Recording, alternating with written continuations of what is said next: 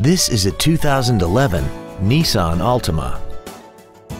This car has an automatic transmission and an inline four-cylinder engine.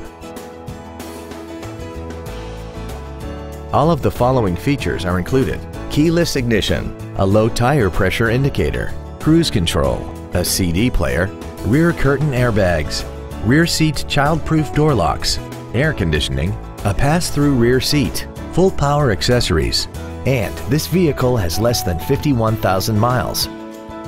Contact us today and schedule your opportunity to see this vehicle in person.